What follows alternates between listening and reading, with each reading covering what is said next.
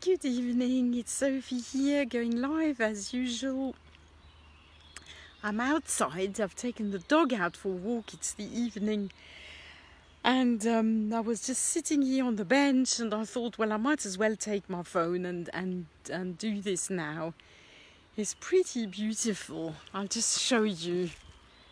Uh, ah, no, you can't see. You can see mountains over there, but actually, with the sun um, going down over there. You can't see it, but anyway, it's it's nice. Um, I put a title to this live because I thought it would give me the courage to to to talk about it. I said today was a bit rough. um, it's hard, isn't it? To well, I, I promised I would be authentic and I would say, you know, share the good and the bad but I'm always a little bit reluctant to say when it's when it's more difficult because uh, I think it's because I just don't want people to. Well, I don't want to bring people down. Really, I want to stay positive, and I am. But um, but yeah, I had a little little bit of a rough day today, and really, it's um, well on my walk. I had a, had a bit of time to to think about why, and I think it's it's really because I felt, well, yeah, as usual, i am running around doing a million things and um, trying to build this business in the in the middle of that.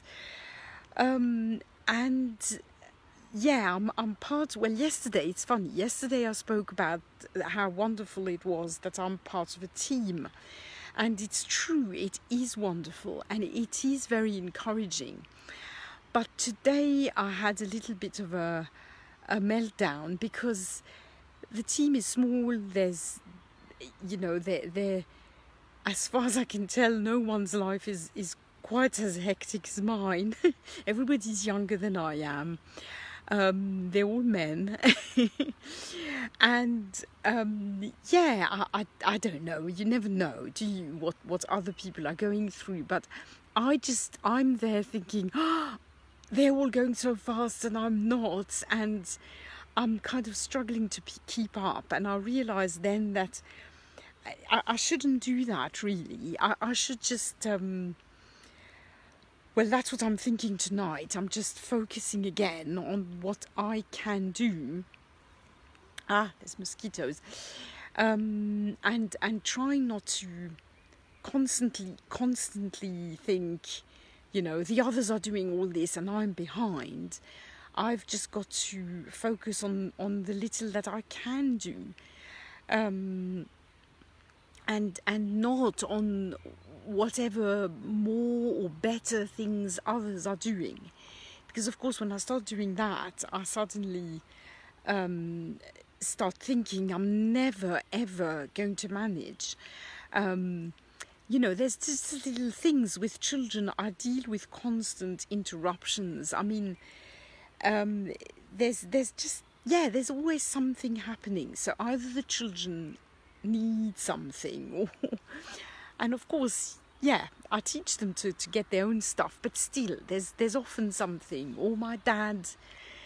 Um, either my dad calls or one of the carers calls or or then there's something else that we need to do. I mean, it, it's the constant interruptions do make it hard to, well, to get very much done.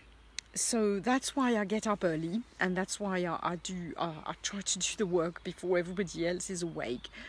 But um, but yeah, sometimes even that isn't really enough. That you know.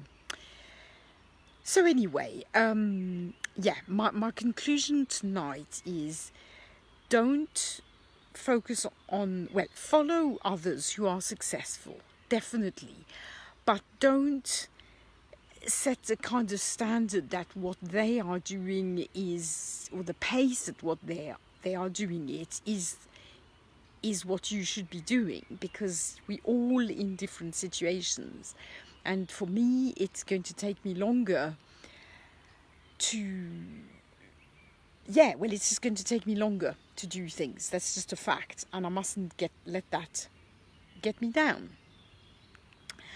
Um, so, if you're in a similar situation, I hope um, this can help you a little bit and encourage you a little bit. Just think you're doing the best you can, and that that's great.